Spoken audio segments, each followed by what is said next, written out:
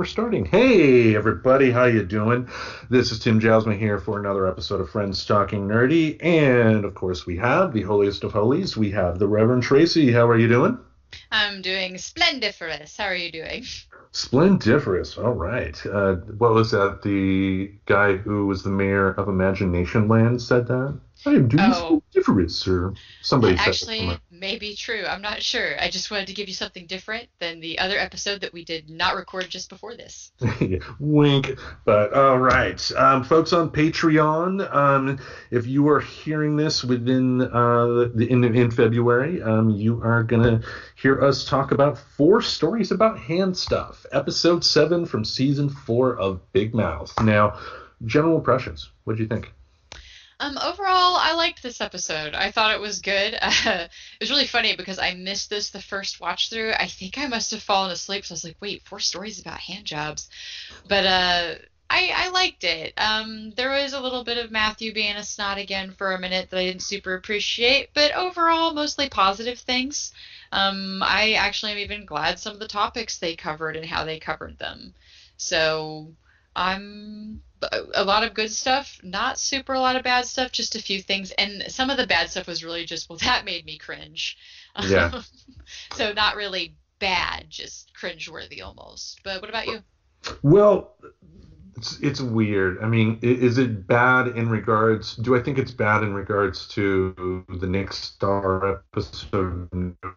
This is a major improvement. Um, but in a lot of ways, this episode and there's one further episode near the end of the season um, really felt like filler it didn't it, it felt like the main storylines they were trying to touch upon this season were essentially kind of put on hold apart from um, apart from the Jesse storyline. It, it just seemed like we it was going along. Um, having said that there were a lot of good things that did occur that you know will will come to fruition in later seasons but uh, I'm not going to say that this episode was bad but I will say for me it was really uneven and just hit or miss at best. But um, um, yeah, I mean, one thing it did, one thing I liked in terms, of, I mean, if we're going to start off talking about the positive stuff, one thing I liked that was an immediate improvement over the previous episode, we start off with Maury and Connie.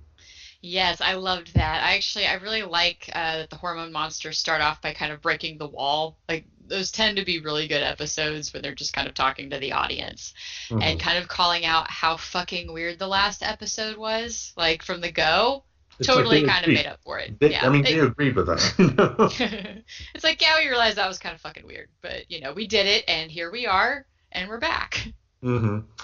Um, yeah, which uh, brought us into the episode proper. Um, but and, and this episode is not a traditional story. It's kind of uh, um, you know, it, it like it, it's a play off of what The Simpsons did with uh, 22 and a half short stories in Springfield or something. The episode where you, you had like a bunch of characters having like a one minute story, like Cletus the slack jawed yokel.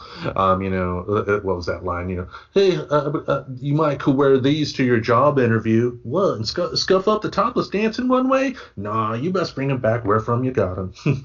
oh, yeah, you go to waits for a woman, a less discriminating taste. Love that line. Go ahead. oh no, I was just gonna say I totally agree. They they totally did a different format. Uh, usually they kind of do that very standard of they're gonna hop from story to story.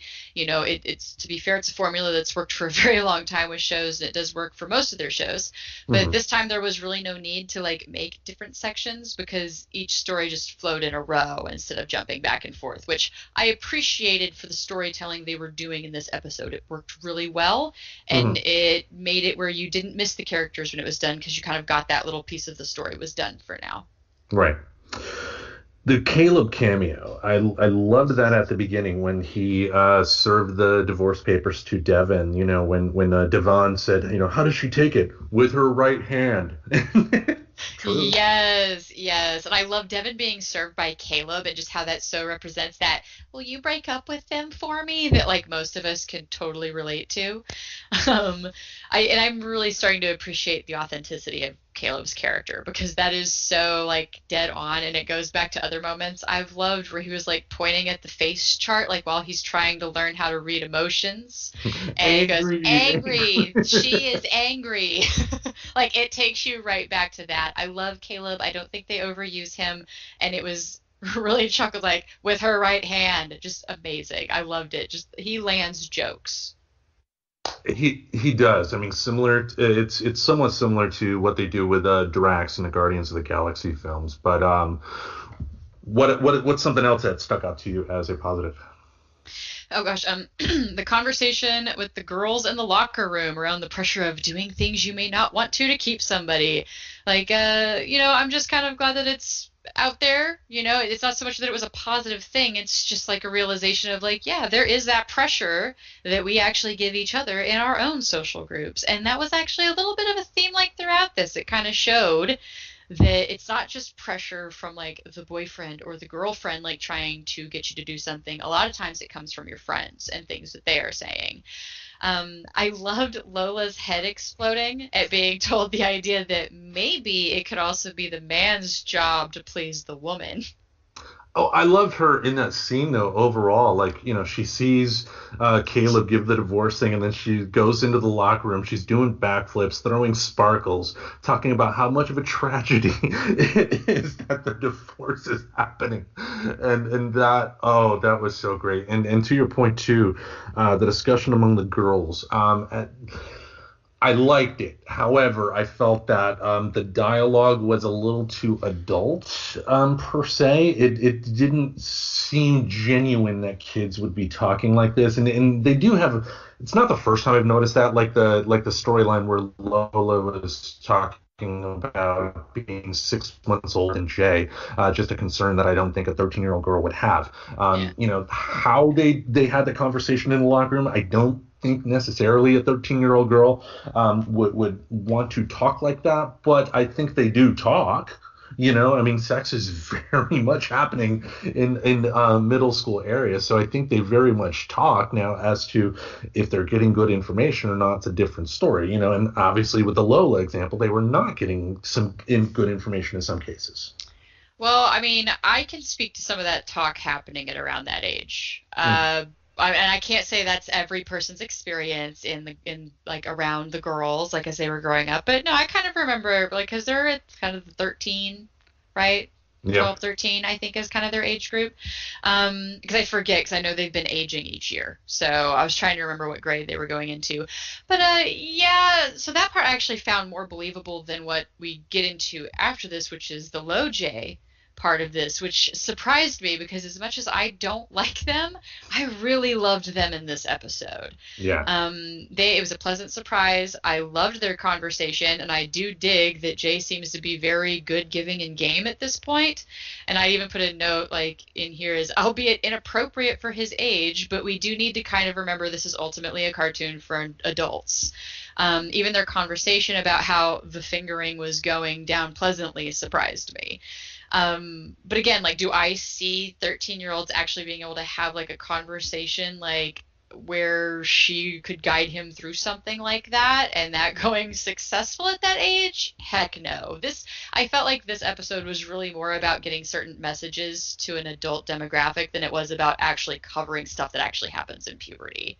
Yeah, and and I, I think when it came to that message too, I think it it made me think that you know because uh, one note I had was talking about uh, the conversation Jay had with uh, Nick and Andrew, and you know I I think for me that kind of brought up the fact that you know, and I think you mentioned it too that women are told a lot about male anatomy in terms of pleasure, in terms of how it works and whatnot, and whereas guys are kind of left on their own in, in, in terms of you know uh, it's not encouraged to have that conversation of of you know what works what doesn't you know. You know two people that are that are young that are getting together will tend to be super nervous and there won't be that conversation sometimes. If it's going good then yeah the conversation is going to going to happen. But you know a lot of times you're not guys don't know to seek out that information because they can also be overconfident as well. You know, similar to uh, you know Jay always calling himself the ultimate fuck machine, and of course doing the typical guy thing of what are you going to do when when you want to ask how to please a woman. You of course go to your male friends and ask because that that makes the most logical choice. Yes, and like some of that reality did come through, like Jay getting defensive and saying, "Well, I asked the guys how to do it." And I loved the line of Lola pointing out, "Well, you never talk to any girls, and most specifically me." And that was that level of yeah. Of course, she said it that way, like the maturity surprises you with these two in this episode. So, but they do tend to have those moments, like as a couple, like where they kind of like break through and get a little bit mature for each other. This one just seemed to kind of take a leap. Mm-hmm. Um, where it's like I, I did, I felt like this was almost outside of their normal storyline um, with how much more mature they seemed about their relationship. Uh, I really enjoyed the cartoon interpretation of Jay Zilla and the castle.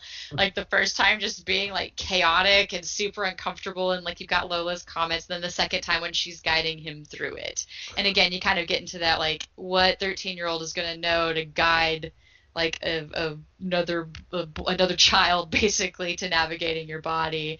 But i really loved what that story of the four stories like kind of represented in this whole episode and and for people that haven't seen the episode keep in mind that you know this the, the purpose of this isn't to give instructions to 13 year olds on how to do this necessarily.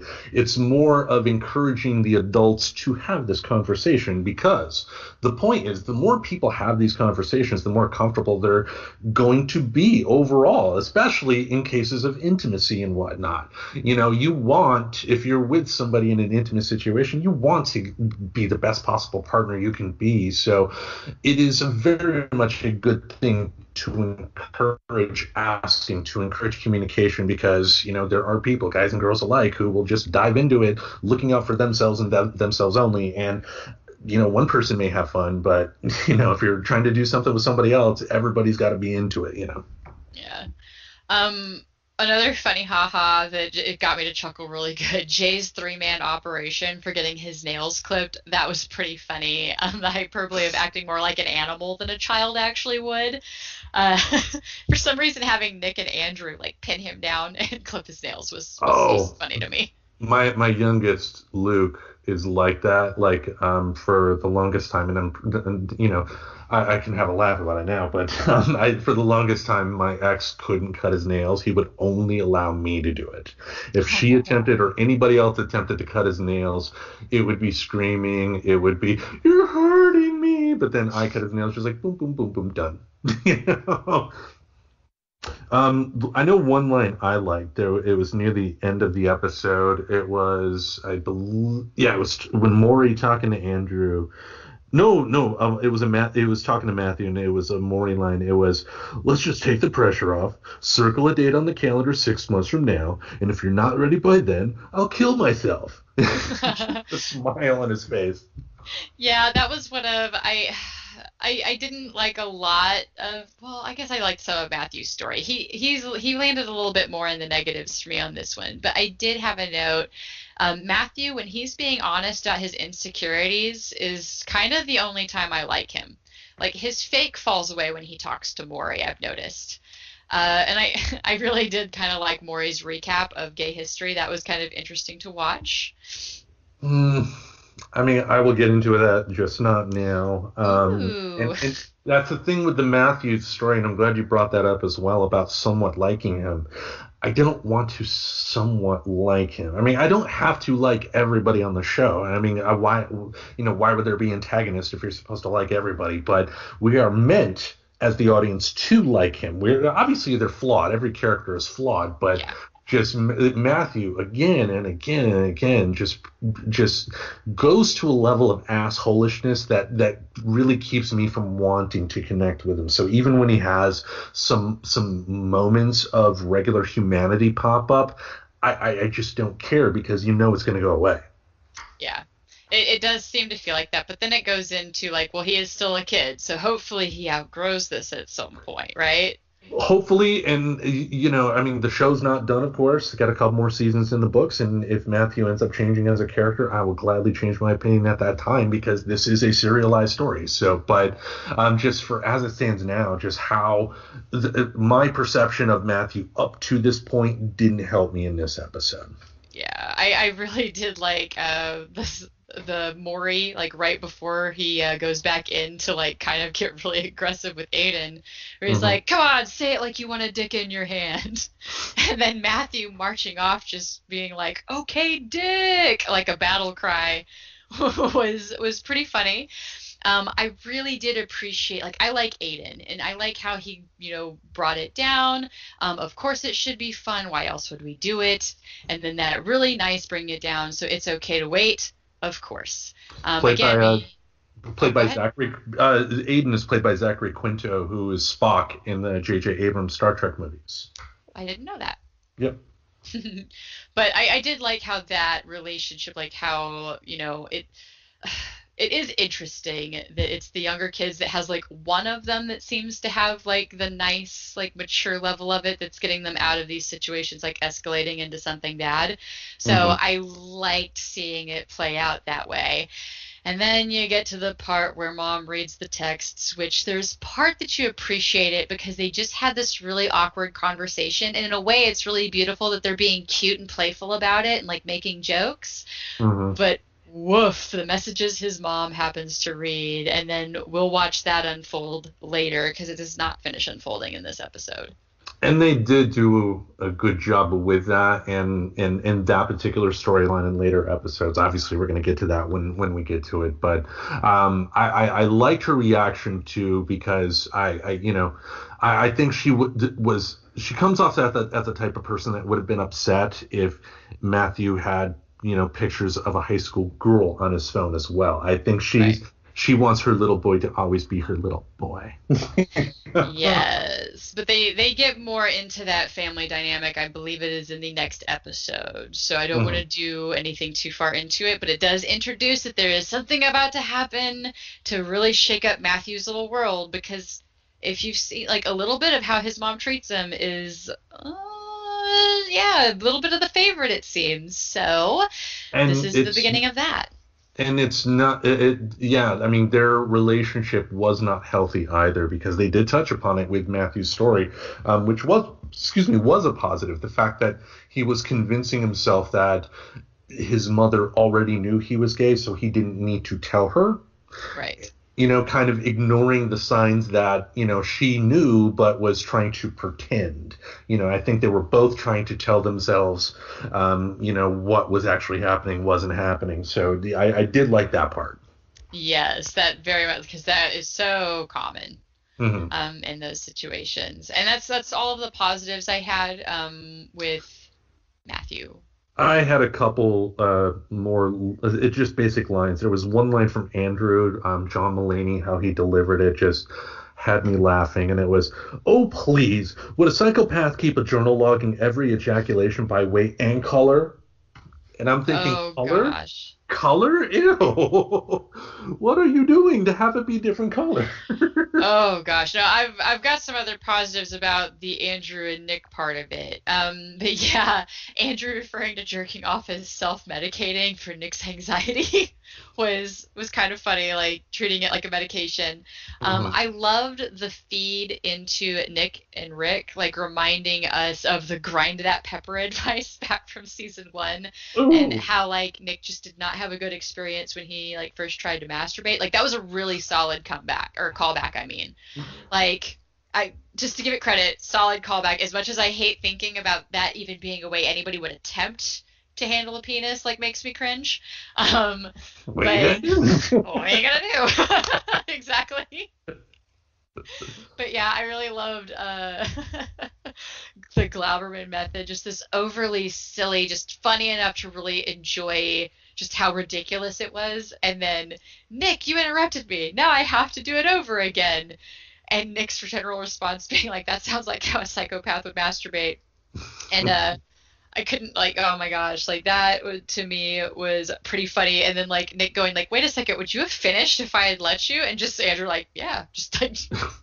but but they do but they do the editing trick again too to where they don't let a space happen after the yeah it's like after like the moment the word is out of his mouth they immediately cut to the next scene which oh, for me always increases the humor uh, when they do that. Um, there's one other line in that scene that i liked uh, it's when maury is talking to andrew about ditching the method and he's like jacking off is supposed to be spontaneous and fun like a motorcycle blowing up in front of a bikini woman.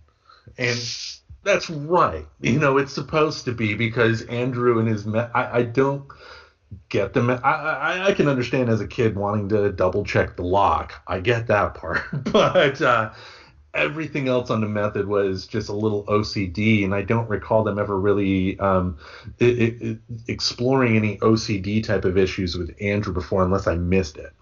Well, I mean, he does have a lot of stress like around his sexuality so i could totally see that being a way of dealing with anxiety before he is getting comfortable with doing that. Mm-hmm. um, so in a way that kind of ritual does make sense. It's a little extreme. Like i don't think most like people would have something like that but I I don't think it's beyond the realm of possibility because the fact that we don't talk about these things allows kids to make up their own rules and almost this like weird spiritual like it's it's almost done in the same like importance of order of like some kind of sacrifice or ritual, right? Because yeah. hey, case in point, he deters from it and then there's immediately a phone call that his grandpa died. And then these Anxitos start showing up and convince him that because he deterred from the method that he kills his grandfather. And i can t- like yeah like I, I i am trying to think of an example of where somebody's like oh yeah i did this thing that had nothing to do with it because that was bad like somebody died. Like i, I feel like that's more something that i got um from religion like in churches like the the idea that you do bad things and something like really bad can happen. Or, um, and and that's where i related to it like the whole every time you masturbate god kills a kitten thing. So there's like this guilt around like sexual pleasure and then something bad happening. But yeah not not around a ritual like that happening before it. Yeah i I, I don't know. And, and a lot of times too i mean as we pointed out uh, on this show they will take a, a, normal situation and essentially make it a little more extreme because with comedy the jokes a lot of times comes from the exaggerations um, like the you know the hugest period ever episode two. Um, you know realistically there's not going to be any sort of pad that would soak up an entire lake or pull a plane out of the sky but when you're a young lady de- dealing with anxiety sometimes your head's not going to be logical in terms of uh, the reaction. So I, I, I don't mind the exaggeration but you know some sometimes it can it, it, can be a little too much, I guess. They they can't you can go overboard with hyperbole. It's a comedy tool, but you can you can go a little much with it. Uh, mm-hmm. but I don't know. I don't I don't from my perspective, I don't think they've gone too far with their hyperbole. I've mostly gotten most of it uh like again because it goes into i can't relate to the ritual part but i can relate to some of the weird beliefs around like masturbation and then like a family member dying and then think that you did it because of like the religious guilt around self or self pleasure now we'll go into this. Growing up uh, in texas how was that conversation had in your home if it was at all? Oh god. Uh so my mom like sat my brother and i down and we just watched a TV show. And it was this weird, I don't know where the fuck she found it. It was like this claymation thing. And um the California oh raisins about masturbation. Kinda. Like I almost want to ask her because I would not fucking put it past my mother to still have this video. Um, because I know it was a VHS. So there's part of me that wants to ask her like she I wonder if she'd remember the name of it. Oh no, that might be a whole topic on its own. But was yeah, Kirk it was Cameron awkward. in it. No, no, no, no. Oh. Um, my mom, uh, I wouldn't. She actually, I, I never really considered her like hyper religious the way she raised us. You know, like I feel like she remembers being more Catholic than I remember her being Catholic, like growing up. Um, but that's that's again, you know, something that we didn't talk about like in this episode for Patreon, but you know how you can kind of convince yourself of, of pasts being different. Mm. Uh, but yeah, uh, but she wasn't really religious about it. I, I just kind of remember that being around, like that idea, because I, you talked about it. Like there was a little bit of us trying to talk to each other about stuff to make sense. But some of it was also the shame was like you better not do that because bad things will happen. But no, fortunately that didn't come from my my own family. Yeah, yeah. My parents never had that conversation, um, and and because of that, I didn't start all that until 19, um, just because I didn't realize what would happen. if that makes sense, I was too fucking lazy to put the time in. I mean, I'm more than made up for it, but you know, my parents didn't have that conversation. I do remember the conversation I had with my kids, and you know, just uh, being uncomfortable talking about it. And then the moment my daughter, the moment I'm done, my daughter turns to me and goes, "Do you masturbate?" And I'm like, "Shut up! Get out of here!" don't ask me that. don't don't don't ask. Like now we're gonna talk about appropriate questions. yeah, yeah, you don't want that image in your head ever. Um, here's some bleach and no. But yeah, it's like so some of the unhealthy ideas you can get around like there being some kind of punishment or repercussion for either masturbating or not doing a certain ritual before you do something, and then the Anxitos showing up. I I totally understood that one. Um, yeah. All right, now let's bring up some negatives. What didn't catch your eye? Well, I did. Um, the brother's advice on fingering just kind of makes you shudder. Uh, especially yeah. the line like you've got to get elbow deep like it's a vending machine and your cheetos didn't fall down so you really got to reach up there and then the booger comment was just too much um the the idea of of yeah. leaving something intentionally in a vagina like at all, let alone to be some sort of proof of whether or not she cheated, because that's not how vaginas work. Just saying. Oh, um, reminds me of all the all the stories you hear about you know guys you know do you, does she still have her hymen? She she must be a virgin because she has just anyway go ahead. Yeah lots we like that's a whole other topic the whole like myths around the hymen and stuff like that but yeah, yeah. on the so, next oh god like so the brothers just their advice was just uh, probably like i don't know I, i've never asked a dude for advice on fingering so i don't know what how close that is to how guys naturally think that's supposed to go. Um, Jay's brother punching him and Jay's response being, physical touch means you love me. I'm still not sure how comfortable I am about making his obviously abusive situation into a running joke on the show. Um, Without addressing it, yeah. I mean, they, they, they, I mean, it happens, and I think art can be a wonderful way to show people the damage of what happens uh, when when this happens in real life, making it to where people, you know, hopefully put people in a spot to where if they do see it for real, uh, they can address it, but they have to address it. They have because his parents are just evil. His his brothers are scary evil, and you know, Jay's a nice kid now, but what happens after high school? What you know is he going to be encouraged to go to college if he doesn't go to college? You know, it's just so much bad could happen, and yeah. and, and I, I, do find it tough to uh, to your point laugh when he has so much against him. You know. Yeah, I, it's where it's like, I I guess it was kind of sillier in the beginning, but now as the show just keeps playing and they're almost harping on how like negligent and abusive his situation is, mm-hmm. that it's it's starting to get less funny for me in the show. So yeah, I I'm not sure how much I want to encourage people thinking that that's a thing that's like funny.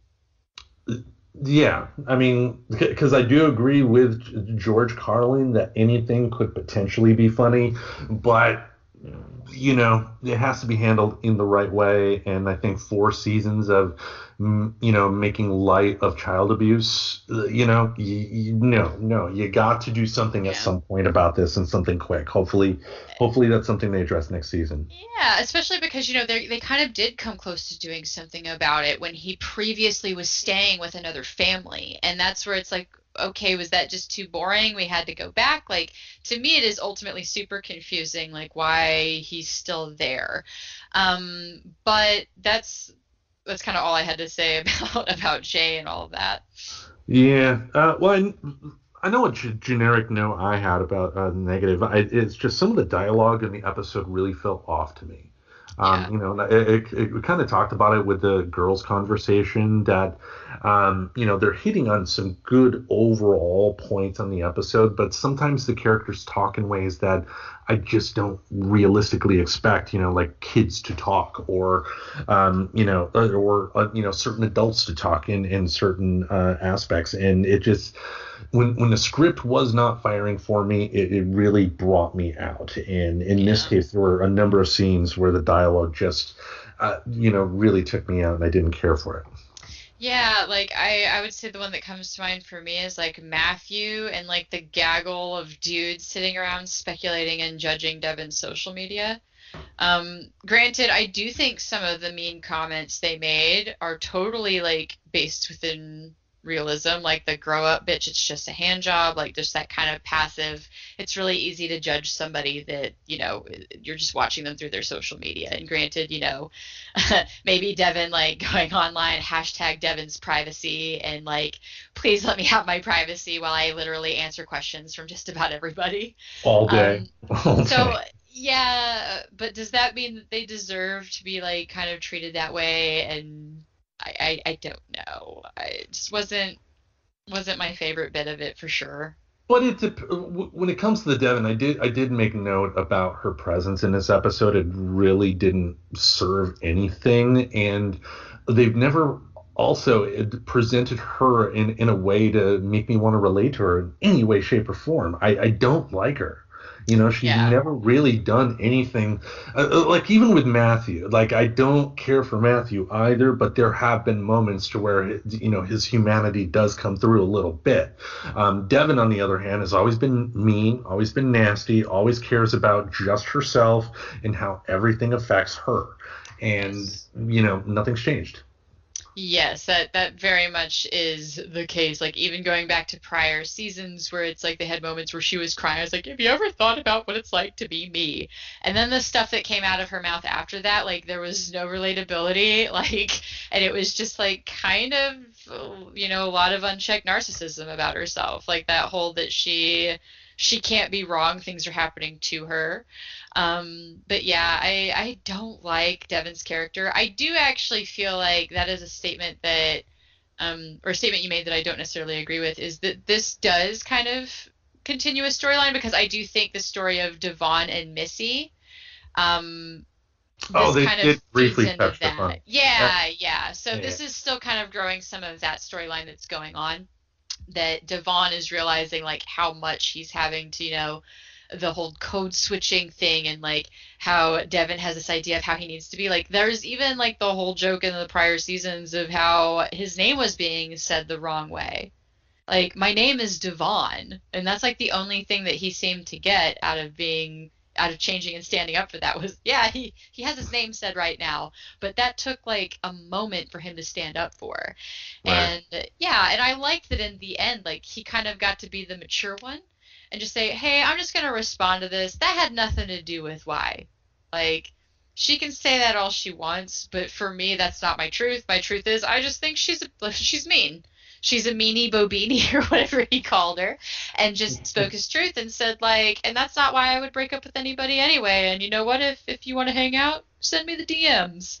So I actually kind of appreciated seeing Devon and how he ultimately wound up dealing with that, like at the very end. That was kind of like a little little last little nice thing I thought they threw in there. And, and at the beginning of the episode, I forgot to mention this in the, in the positive aspect, but I, think Missy's only real contribution to the episode was her reacting to the divorce. But I, I loved how she was just a said a, just a little too much, which tipped the hat to everybody that you know she had has feelings for Devon. That uh, you know, like uh, uh, I, I forgot the specific words, but it was just something along the lines of I would never, you know, in a million years expect that this Devon person who did this, this, this, you know. I, I, like that little aspect that, that that they brought out. I mean, overall, Missy is probably one of my favorite characters that they don't do as much with as they should. So. Yeah, but it seems like she's starting to grow into being more of a character. Um, like they're really kind of developing her. It seems this season, so I'm not going to be Mhm. surprised if she doesn't come into more, um, and we see that grow more. Uh, one of the other like just cringeworthy moments. As much as I thought Spunk History was funny, it just like the whole idea of like getting drunk on your own jizz, just, just uh, uh, gag, and then the the the little side comment later is like, "Are these getting thicker?" Ew. Drink I mean- water, Maury. I don't know what to tell you. I mean, one, did we need that? But two, I, I, it also led to a weird discussion between him and Matthew about, um, you know, you're you're a gay man, you must know gay history, and you must have all kinds of sex because of gay history, and. I that doesn't ring real to me. I, I it's like if it, Yeah. I'll put it this way: if there is anybody in the audience that is a member of the gay community community that's listening to this, that has seen the episode and can tell me that it indeed is a type of conversation that people have with themselves, I want to hear it. It's just I it, it didn't strike me because I don't one I don't see what a 13 year old kid is really going to care about the history of anything unless it's something that really 100% uh, affects them and yeah you can say your sexual life affects you but how does it really affect you at age 13 it, you know it, it affects you in different it, it it affects you. I'm not saying it doesn't but it affects you in a much different way when you're an adult compared to a kid. But um uh, anyway, anyway go- Because while I thought it was neat to go through some of the facts of the persecution that like gays have been through and some of the history of it, did I appreciate the overall message being that you owe them one to like jerk off your boyfriend? No, no, I don't agree with that at all.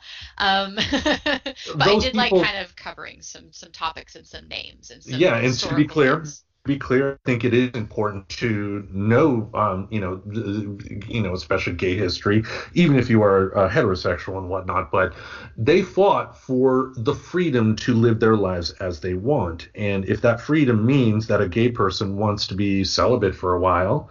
Let them be celibate. That's what the freedom was fought for. You know that uh, that's why we're living in the country we are now. There are people that didn't want to live under a king, so they came here and started something else. And and yeah, it, it, that didn't strike me as as realistic. That conversation with Maury and Matthew, I think that was just a way to get Matthew into, um, you know, actually d- creating something positive with Aiden.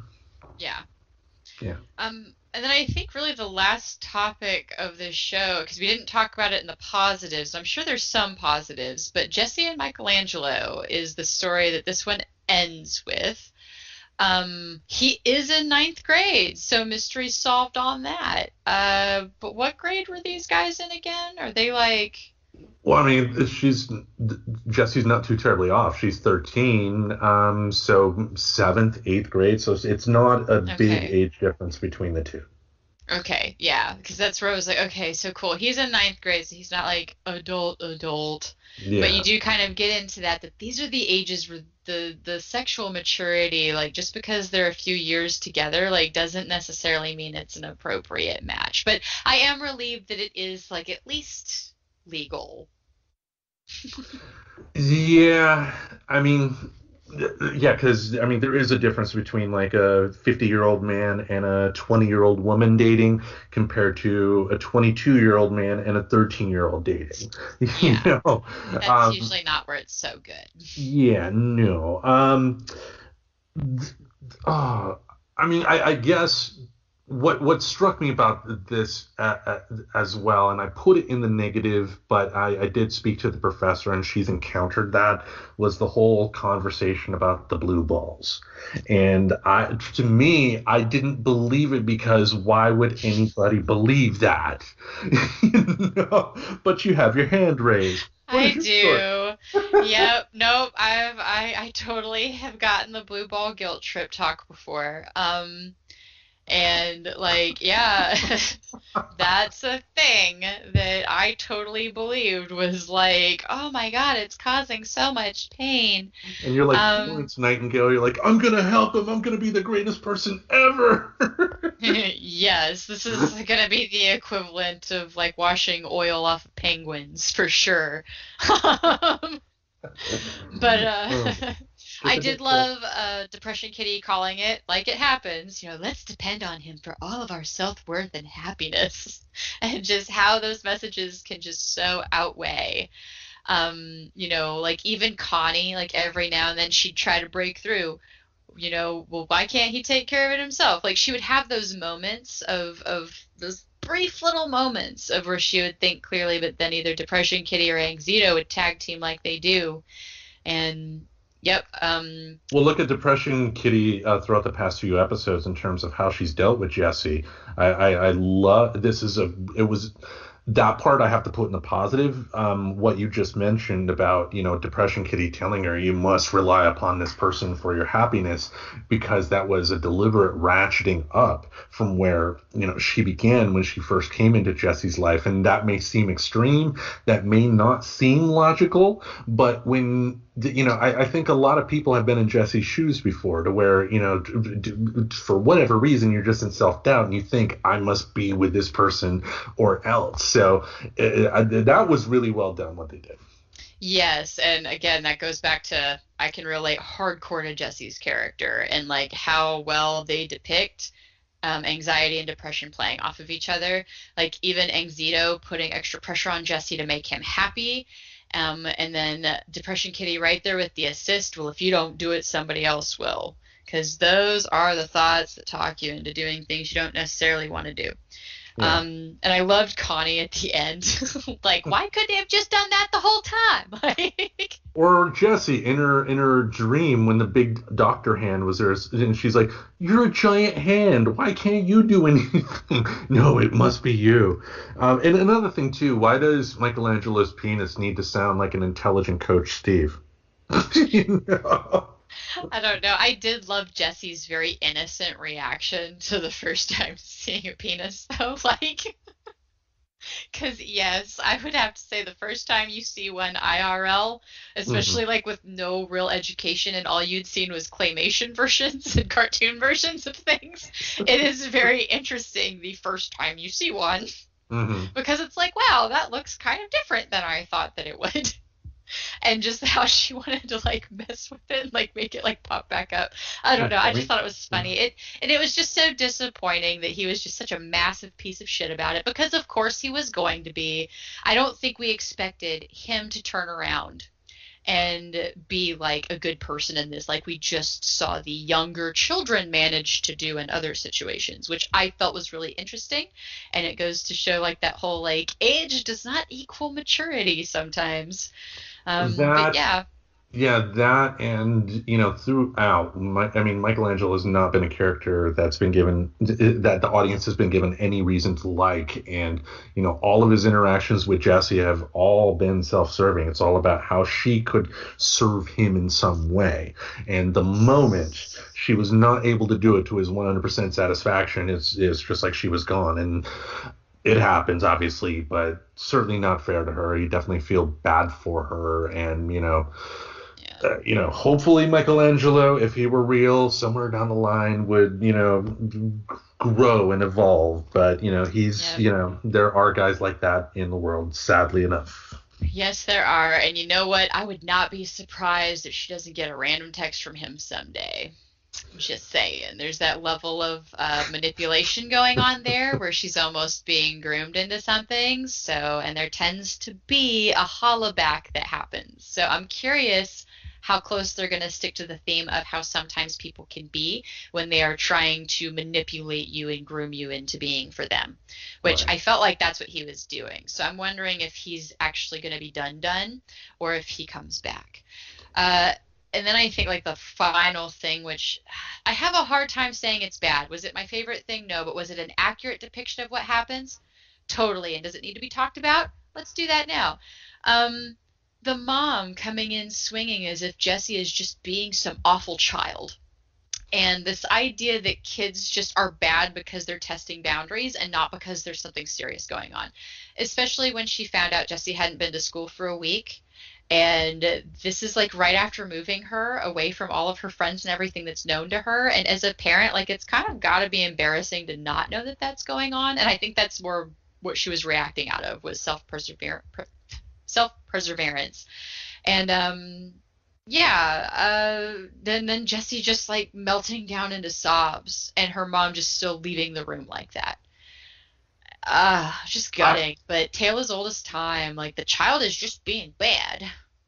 I, yeah, I mean, uh, parents and I, I've, I, you know, I've been guilty of being in Jessi's, uh, Jessi's mother's role. Um, every parent, I think, is going to be that because, again, it's, you know, what we talked about before. It's all about perception. Her, her mother, you know, is going through some major stuff herself. I mean, go, you know, exploring her sexuality for the first time, um, divorcing her husband, moving to uh, the big city uh, uh, from where they were going to be at, um, trying to establish a new job job, trying to, you know, live in a new place and whatnot.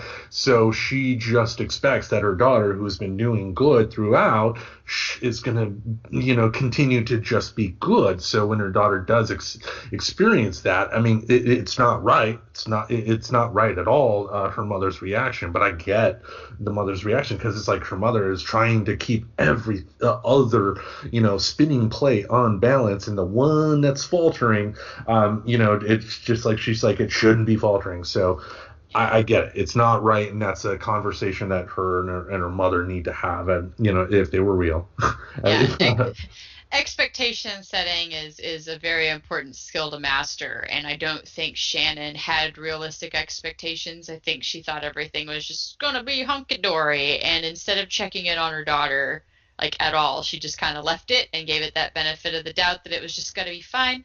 I don't know something just tells me that it seems kind of common sense that once you moved a kid away from all of their friends and half of who made them, that you hmm. may want to check in and make sure they're actually dealing with that okay and not just assume they're going to be fine. Kids go through enough. There's a lot of stress, especially in our public school system and with bullying and all of that. I don't know. It, it was it was a bummer, but it was realistic, so I got to give them that. Yeah. Overall, in the episode, would you say it's good or bad? What is your verdict? Um, would you miss anything from the main storylines if you skipped it? No. Would you miss some really cool messages that I feel like they're trying to get to their demographic about like having mature conversations about sex and sexuality? Yeah, I think it's definitely worth watching for those themes. Um, yeah, hands down. The the and the fact that like adults can't manage these conversations yeah. is like why I'm like, yes, please watch it. Don't skip this one. Like because it might make you even realize something about yourself and it goes uh, to my general theme of like don't be embarrassed if you realize like a bad habit or a thing that maybe you realize that you do that isn't the best like because that's the point where you are totally allowed to try to like not do those things anymore. Yeah. like uh I don't know, maybe you've talked yourself into believing that blue balls is a thing and you're just like trying to spread the word and maybe this episode makes you realize that that's bullshit and you can just take care of it yourself. So just take care of it yourself going forward and like maybe send some apologies to some people if it's not going to be traumatic to them. But um, like yeah, I, definitely worth a watch. Yeah, uh, for me, I would say this episode is a mixed bag at best. Um, to your point, there are definitely some great things that happen in this episode, so I, I would be very hesitant to say avoid it like I would the Nick Starr because there are some good building blocks to what they're, um, you know, what what's going to happen later in this season and future seasons. But it's just scattershot, and more than anything, most of this episode just felt like filler. Um, it didn't feel like much was really being moved moved along to, um, you know, where I expected it. So I, am not going to go so far as to say it's bad because after we've watched Nick Starr, we know what bad on this show can be. But it's it's it's almost there. It's a, it's like it's like they wanted to hit a grand slam, but were lucky to get a double. You know, and a double's good. Yeah. Double in baseball is definitely good, but when you were looking to hit that grand slam and don't don't achieve your goal, um, you know that that says something. So, all right, next week on Patreon, we're going to be talking about episode eight of uh, Big Mouth. Here, we are almost wrapping up um, our talk on Big Mouth, and off the air, we will discuss on what we want to talk about next. But um, yeah, do you have any further words on this episode before we wrap it up? None. I think I got it all out. She's like, I'm hungry. I want to go. yes, I smell soup. All right. Well, let's get Tracy to her soup. So, with that, we will see you folks next week. Um, remember, if you click on the show description and click on the link tree description there, you're going to be able to find out where we're at in terms of where you can listen to the show, where you can support us on Patreon, um, where you can uh, come to our Facebook group and join us. Uh, we definitely love uh, to see some more people there and some more activity. I do feel like there's the activity has slowly been building up in, in that group more and more. It seems like more and more people are interacting, which is really nice. Yeah, yeah. Thank you very much. I appreciate it because uh, I I try to do my funny ha-has there because uh, too many people like to try to pick fights over stupid shit, and I don't want it happening on my wall. I'd rather happen in a group. So I will post all my jokes in there. there we go. There we go. So all right. Um. Yeah. Again, with that, we will see you all next week. We thank you for tuning in. Bye. Say it like Matthew. Bye. Bye. Subscribe to Friends Talking Nerdy on iTunes, the Google Play Music Store, as well as Spotify. Remember to support Friends Talking Nerdy on Patreon. Goodbye, darling.